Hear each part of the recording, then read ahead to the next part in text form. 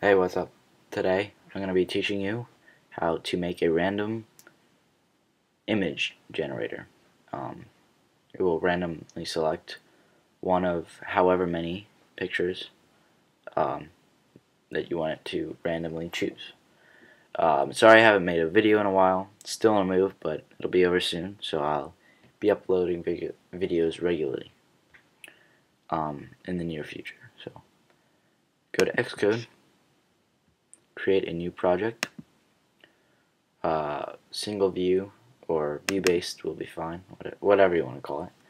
I'm going to do this, just call it random images or whatever you'd like to call it. And click next and create. So first of all we have to um, import our images. I have three right here, but you can have as many as you'd like. Just select all of them and just drag them all into your project and just click finish and they're in your project. Now for the coding. Really easy.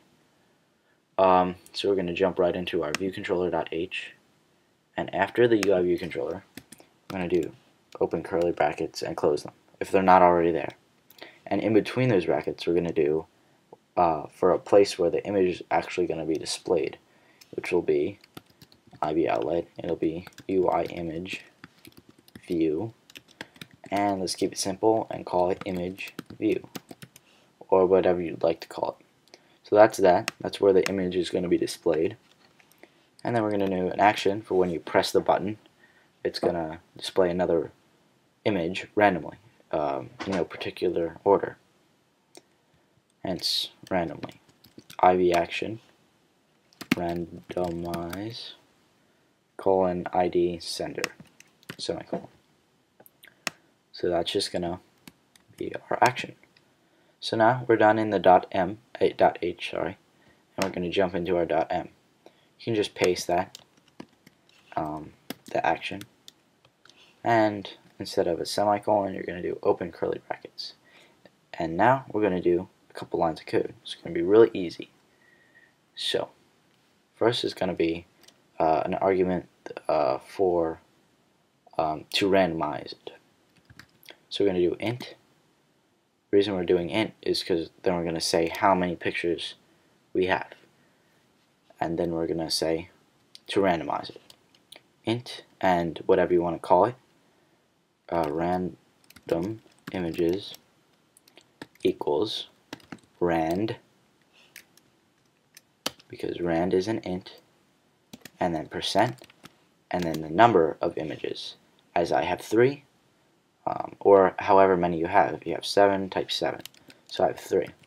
If you have 100, type 100, whatever. So you can call it whatever you like. So int random images, rand, um, open parentheses, close parentheses, and uh, percent, and the, num the number of your images. So then we're going to do a switch statement. Switch, what we called that, we called it random images, and that's telling it to randomize the images. And uh, now here's where we're going to tell it to set the image view to the image randomly. So um, the case does not start at 1, it starts at 0 you can delete the default break. And then here will be your statements. And that means we're done. Break means we're done.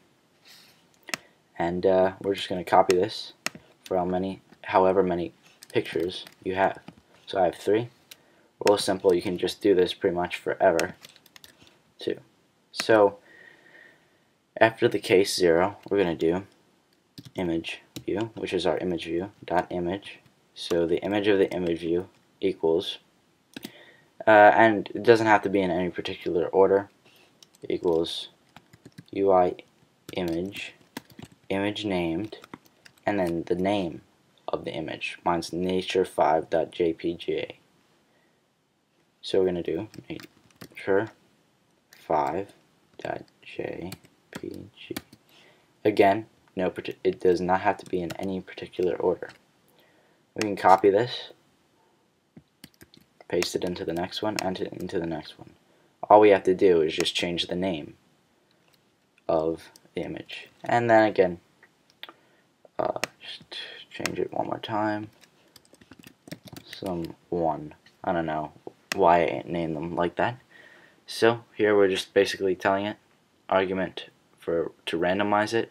And here we're going to tell it to set it to these images uh, randomly. Okay, now uh, let's jump into our XIB interface builder and um, let's drag in a round rect button and an image view of no particular size, whatever you want to call it. Uh, okay, I'm to do image, random image.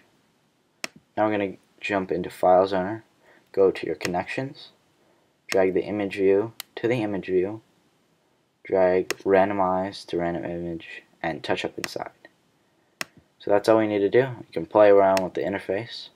You can build and run, and uh, we'll see how this goes. I don't want it on the iPad. It's easier. So here we go. Random image. And as you can see, it might select it twice or it might go to a different one. It's just totally random as you can see. And that's how to make a random image um, generator. So have fun with that. Thank you for watching and uh, see you later.